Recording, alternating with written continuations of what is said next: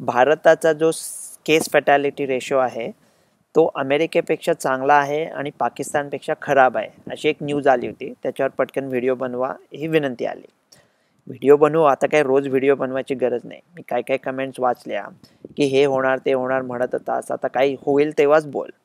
बरोबर आहे. आणि मी काय कुठल्या गव्हर्नमेंटमध्ये नाही हो किंवा मी कुठल्या या कंपन्यांबरोबर काम करत नाही. आमचा डॉक्टर्सचा ग्रुप आहे ते मी स्टडी करतो. बाकीची पण न्यूज काय आले बघतो. आणि दुसरं म्हणजे तसा तो पूर्वीचा जुना जोक होता ना की मेकॅनिक शंभर रुपये का घेतो? कारण खिळा असतो तो फिक्स करायचा एकच रुपया असतो. पण कुठला खिळा फिक्स करायचा ते सांगायचे नव्याण्णव रुपये. त्याच्यामुळे मी जेव्हा या सगळ्या न्यूज बघतो आता आपण रे जनरॉनची न्यूजवर आपण व्हिडिओ बनवला होता. आणि त्याच्यानंतर तो व्हिडिओ बनवल्यानंतर दहा तासाच्या आत ट्रम्प तात्यांना तो त्या अँटीबॉडी दिल्या एक्सपेरिमेंटल मी म्हणत होतो की याचा कदाचित एक्सपेरिमेंटल यूज करता येईल. ते झालं ना म्हणजे ते काय आपले व्हिडिओ बघतात का माहीत नाही. आणि मी काय हुशारकी म्हणून सांगत नाही. की भारतातल्या ते म्हणजे चिल्लर मीडिया सोडाच तुम्ही. तुम्ही जगाचं बघितलं ना तर आपल्या लोकमतच्या मराठी वाचकांपुढे सगळ्या जगाचा न्यूजचं ॲनालिसिस करून सध्या काय चाललं आहे असा किती गोंधळ असतो. रोज ब्रेकिंग न्यूज शंभर ते दोनशे असतात. त्यातली एक ब्रेकिंग न्यूज तुमच्यापर्यंत आणतो जी खरंच ब्रेकिंग न्यूज असते. पण आता बरोबर आहे जेव्हा केव्हा काही चांगलं होईल तेव्हाच तुमच्यापुढे येईल. आता या केस फॅटॅलिटी रेशोबद्दल पण आपण पूर्वी बोललो होतो. ह्याचा मी जरा विचार करत होतो. आणि सायन्समध्ये म्हणजे शास्त्रामध्ये सर्वात चांगली गोष्ट काय सोपी गोष्ट काय असते माहिती आहे का? की ते सोपं असतं. आणि लोक उगाचच्या उगाच त्याला कन्फ्यूज करायला लागतात. आणि ते आकड्यांचा सगळा खेळ असतो. म्हणजे समजा तुमची उंची सहा फूट आहे. आणि तुम्हाला पोहता येत नाही. आणि तुम्ही चोवीस फूट तळ्यामध्ये तुम्ही बुडताय गटांगळ्या खाताय. आणि कोणी त्या तळ्याची खोली आहे ती बारा फुटाने कमी केली. याचा अर्थ तुम्ही पन्नास टक्के बरे झालात का? काही काय हो. त्याच्यामुळे आता एवढा गोंधळ ठेवला आहे ना case mortal case fatality ratio infection mortality ratio म्हणजे ते सगळा गोंधळ आहे. तो गोंधळ काय आहे ते आपण पटकन बघूया. ज्याला आपण मृत्यू दर म्हणतो म्हणजे C F R. Case fatality ratio. म्हणजे काय? की मेले किती आणि भागिले ज्यांना सिम्पटम होता असे रोग किती? आता हा काय गोंधळ आहे? ही कशाला करताय तुम्ही? म्हणजे मेले किती डिवायडेड बाय सिम्पटम होते रोगी किती? हा जो रेशो येईल कम्पेअर्ड टू दॅट मेले किती डिवायडेड बाय ज्यांची टेस्ट पॉझिटिव्ह आली होती तो रेशो म्हणजे केस फॅटॅलिटी रेशो आणि इन्फेक्शन फॅटॅलिटी रेशो असे तुम्ही जर का दोन घेतले तर ऑफकोर्स डिनॉमिनेटर जेव्हा वाढेल तेव्हा तो रेशो कमी होईल ना. केस फॅटॅलिटी रेशोमध्ये डिनॉमिनेटर कमी आहे. का कमी आहे? कारण तुम्ही सगळ्या केसेस नाही मोजत. आहात ज्या केसेसना लक्षणं होती त्यांना मोजताय. म्हणजे एसिम्टोमॅटिक लोक बाद करताय. पण मला एक कळत नाही. समजा पन्नास हजार केसेस आल्या नवीन. तर आपण कपडे काढून भांगडा करतोय. पन्नास हजार केसेस आला पन्नास हजार केसेस आल्या. मग त्यांचं दुःख करायला ते पन्नास हजार लोक मोजायचे. पण जेव्हा चांगलं त्याच्यातून सुखाची काही बातमी काढायची आहे की किती लोक मरत आहेत डिवायडेड बाय तेव्हा ते पन्नास हजार लोक वगळायचे. म्हणजे त्यातले सिम्टोमॅटिक एसिम्टोमॅटिक लोक वगळायचे. हा काय वेडेपणा आहे? आता ही सगळी त्याच्यात एक अजून चिमुकलं भानगड काय माहिती आहे काही काही लोक म्हणतात C F R can also be case fatality rate rate म्हणजे दर. दर म्हणजे त्याच्यात गती आली. गती म्हणजे त्याच्यात समय आला. आपल्याला लहानपणी ती गणितामध्ये असायचं ना काळ काम आणि वेग. तीन मजूर एक आणि करतायत वगैरे काय काय जुने एकदम बोर आपल्याला गणित असायचे ना.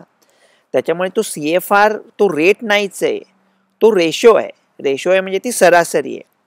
आणि ह्या स्टॅटिस्टिक्सचा खेळ काय असतो माहिती आहे का? आता हा त्यांनी काय आकडा काढला आहे पर एक लाख पॉप्युलेशन कशाला अरे आत्ता थोडंसं समजायला आलं आधीच हे लोक सगळे बोलत आहेत इम्युनॉलॉजी काय मायामते काय म्हणजे नम्रपणे काय बोलू एवढे काय हुशार लोक नाही आहेत त्याच्यात त्यांना आत्ता कुठे समजायला लागले त्याच्यात ते स्वतःला अजून कन्फ्यूज करतायत. की per hundred thousand population per एक लाख पॉप्युलेशन कशाला? आपण मी पूर्वी पण बोललो होतो याच्याबद्दल. म्हणजे समजा तुमचं पॉप्युलेशन आहे शंभर कोटी आणि तुमचे जर का नव्वद लाख लोक मेले आणि एका देशाचं पॉप्युलेशन आहे एक लाख आणि त्यांचे शंभर लोक मेले.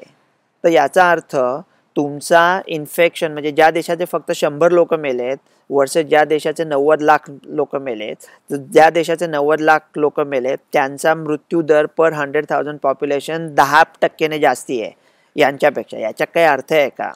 मायमध्ये आता हे सगळं आपण गोंधळ विसरूया. एकच त्याच्यामध्ये लक्षात ठेवायचं. मेले किती? डिवायडेड बाय किती लोकांना कोविड झाला होता? आणि भारताचा मृत्यू दर तर आता ते एक पॉईंट सेवन पर्सेंट म्हणतायत ना. त्या केसेस वगैरे आपण त्याच्यावर पूर्वी बरेच वेळा बोललो होतो. माझ्या मते आता ह्याचा जो मृत्यू दर आहे तो अमेरिकेचा पण आता ते म्हणतात की कदाचित पॉईंट सिक्स फाय पर्सेंट असेल. आणि फ्लूचा असेल साधारणतः पॉईंट वन पर्सेंट म्हणजे फ्लूच्या समजा सहा पट वर्स आता फ्लूच्या सहा पट वर्स म्हणजे तरी खूप खराब आहे. पण तरी हो, फ्लू करता आपण असं कधी इकॉनॉमी वगैरे बंद करून घरी पडलो होतं का? मास्क भोवती मास्कच्या पाठी या तोंड लपवून. त्याच्यामुळे फ्लूच्या फक्त सहा पट अमेरिका असेल. अमेरिकेपेक्षा भारताचा मृत्यूदर तर खचितच चांगला आहे. काही पटीने चांगला आहे. म्हणजे आपला मृत्यूदर आता कदाचित पॉईंट थ्री म्हणजे पॉईंट सिक्स फायपेक्षा डेफिनेटली कमी असेल.